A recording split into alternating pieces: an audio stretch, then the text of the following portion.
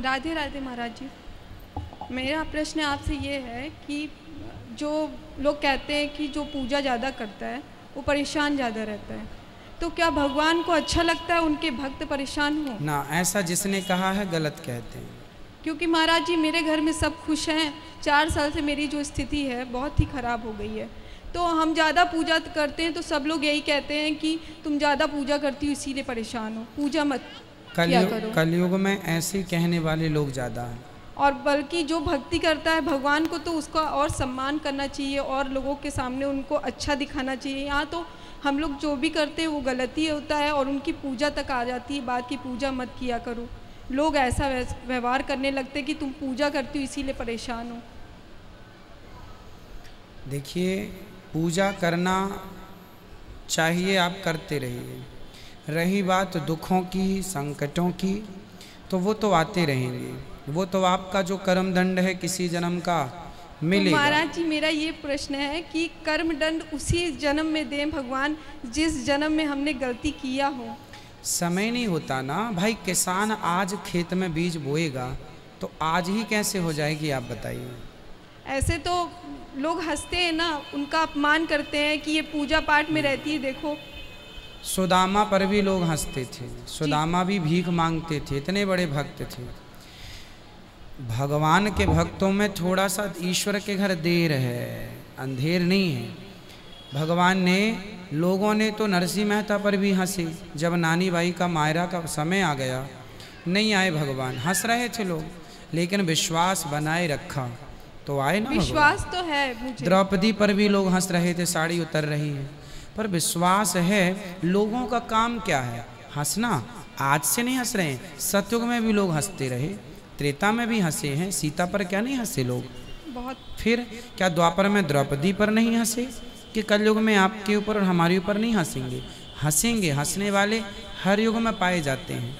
और ये लोग ठीक हैं अपनी जगह। लेकिन महाराज हम अपनी जगह सही रहें बस। महाराज जी तो क्या भगवान को भी तो दुख होता होगा ना? जो उन्हें चाहते हैं उनको इतनी तकलीफ़ हो रही है अगर। भगवान देखो ये बताइए कि आप एग्ज़ाम दे रहे हैं। जी।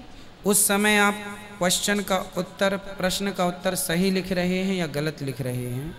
वहाँ बहुत सारे निरीक्षक लोग रहते हैं टीचर। रहते हैं। वो बच्चों को देखते हैं कि आप सही कर रहे हैं कि गलत। पर वो रोकते नहीं हैं। आप गलत लिख रहे हैं तो भी आप लिख रहे हैं। वो रोकते नहीं हैं। आप सही लिख रहे हैं तो भी वो शाबाशी नहीं देते। पीठ नहीं थपथपाते कि वाह, आप तुम ठीक कर रहे हो। वो देखते हैं। अब आपकी कॉपी जमा होगी पंद्रह दिन बाद जो रिज़ल्ट आएगा, उसमें पता चल जाएगा कि आपने सही किया कि गलत। उसी तरह आपका ये एग्ज़ाम चल रहा है।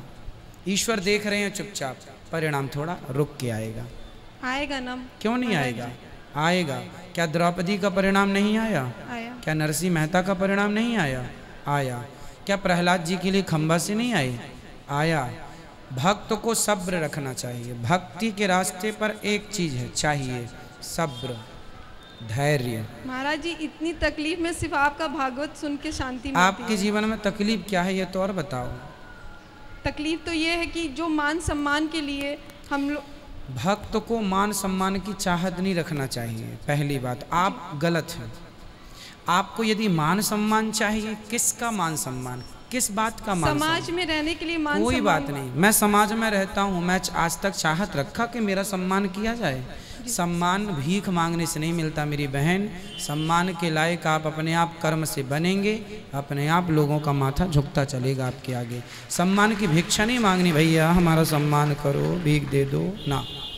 लेकिन उसके लिए जो पूजा पे आता है। पूजा अलग विषय है सम्मान अलग विषय है। पूजा आप करिए पूजा शांति के लिए की जाती कोई है। ये कहे कि आप पूजा ना करो तो ये तकलीफ़ का कौन कहता है मत सुनो ना ऐसी बातें। आप ये बताइए जब तूफ़ान चलता है तो आप अपने घर के दरवाजे खोल के रखते हैं कि बंद?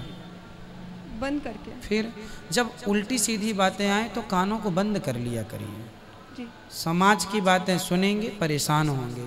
मत सुनो ना। समाज के बीच में कम रहो लोगों के बीच में कम रहो। भगवान के आसपास भगवान की भक्ति इसलिए नहीं करना चाहिए कि भगवान हमें खूब सारा धन दे दें खूब दौलत दे दें। भगवान की भक्ति, दौलत के लिए मीराबाई तो ऑलरेडी दौलत वाले बाप की बेटी थी और दौलत वाले पति की पत्नी थी। लेकिन सब दौलत छोड़ के उसने पायो, जी मैंने राम रतन धन पायो। उसने तो भगवान को ही अपनी दौलत बना ली थी। तो आपको भी ईश्वर को ऐसे नहीं देखना कि प्रभु आप हमारा काम कर दो, पड़ोसी ताने मार रहे हैं, पैसे नहीं हमारे घर गरीबी चल रही ये चल रहा। ये तो भिकमंगों वाली बात हो गई। है ना? भगवान से प्रेम कीजिए कि प्रभु आप ही हमारा धन है। दुनिया का काम है कहना, आप भगवान को धन, मीराबाई ने सब छोड़ दिया। और धन किसको माना? भगवान को। भक्तों के लक्षण ये नहीं है कि वो सम्मान चाहे, मुझे कोई सम्मान नहीं चाहिए। आप हमारी तरफ़ अच्छी बातें फेंकें या बुरी बातें, हम दोनों को एक्सेप्ट करते हैं। भगवान ने भी सौ गालियाँ सुनी शिशुपाल की। तो आपका लक्ष्य गलत है। आपको चाहत सम्मान की है पैसों की है भगवान से। ये दोनों खत्म कर दीजिए और भगवान से कुछ ना मांग कर भगवान को मांग लिया जाए तो भगवान सब कुछ दे देंगे। आपकी मैं हूँ आप मेरे हैं बात खत्म। फिर क्या चाहिए? जब घर इतने साल से यहाँ वृंदावन आना चाह रही थी गुरुजी। आज शायद सब कुछ मेरे पास नहीं है लेकिन कन्हैया ने अपने द्वार पे मुझे बुला लिया। भगवान ही आपका सब वो मिल गए तो सब कुछ मिल गया। वो ना मिले तो सब मिल के भी कुछ नहीं मिला।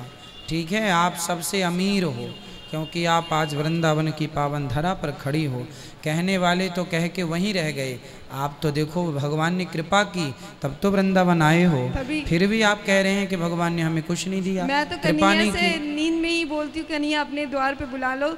आज शायद कन्हैया इसलिए भगवान से शिकायत नहीं। ओनली धन्यवाद ईश्वर का धन्यवाद। ठीक है? राधे राधे खुश रहिए। राधे राधे गुरु जी हाँ बेटा राधे राधे। पीछे ले जाओ माइक। खड़े बेटा ये यहाँ पाठक जी खड़े हो जाओ बेटा। ये काली शर्ट वाले भैया। राधे राधे गुरु जी जी।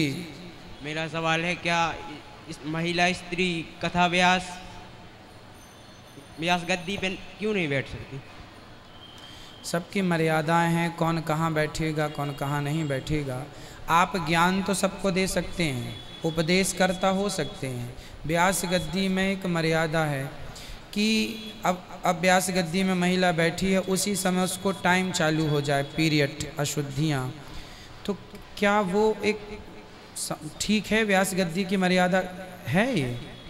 यह शास्त्रों में नहीं आया। शास्त्रों में तो ये है, विरक्तो वैष्णवो विप्रो वेद शास्त्र विशुद्धिकृत। क्या माता अनुसुईया कम विद्वान थी? क्या वो भागवत जी करने लग गई? आप प्रवचन कर सकते हैं, आप ज्ञान उपदेशक बन सकते हैं, रास्ता बता सकते हैं समाज की सेवा। पर एक व्यास पीठ की मर्यादा है, उसको हमें ही बना के रखना है। भाई कहाँ पुरुष बैठेगा कहाँ स्त्री बैठेगी? समाज ने नियुक्त कर रखा है ना? शादी विवाह में भी स्त्री का स्थान होता है कि स्त्री पुरुष किस तरफ़ बैठेगी पुरुष स्त्री किस तरफ़? एक मर्यादा है अब आप कह नहीं जी वहीं क्यों बैठेगी? मर्यादा है बेटा जो मर्यादाएँ हैं उन्हें पालन करना चाहिए। तो महिला व्यास गुरु मंत्र भी नहीं दे सकती? गुरु जो है ज्ञान बेटा सबसे लिया जा सकता है। ज्ञान सबसे दत्तात्रेय जी ने 24 गुरु बनाए उनमें एक स्त्री भी है। ज्ञान शिक्षा सबसे ली जा सकती है पर दीक्षा गुरु ही देता है और गुरु पुरुष होना चाहिए। तो मैं मेरा 2015 में मेरे परिवार वालों ने ललितपुर में एक देवी कोई बात नहीं जो आपने किया लिया ठीक है आप जाप करते रहिए जो नियम है वो हम बता रहे हैं बाकी आपने दो, जो किया 2017 से मैं आपसे जुड़ा हूँ तो मेरा मन और भक्ति सब आपकी कथा से ही भगवान के चरणों में बहुत ज़्यादा बड़ी है। तो मैं आपसे क्या मंत्र ले सकता हूँ? आपने ले रखा है तो ज़रूरत नहीं है बाकी आपकी जो श्रद्धा है वो कीजिए। तो, खुश रहिए। तो शास्त्रों में तो नहीं आया? शास्त्रों में तो जो है वो हमने आपसे कह दिया। तो आपसे अब आपको निर्णय लेना है कि आपको क्या करना है। आपसे गुरु मंत्र ले सकते हैं। बिल्कुल ले सकते हैं। ठीक आपकी इच्छा है तो ले सकते हैं। खुश रहिए।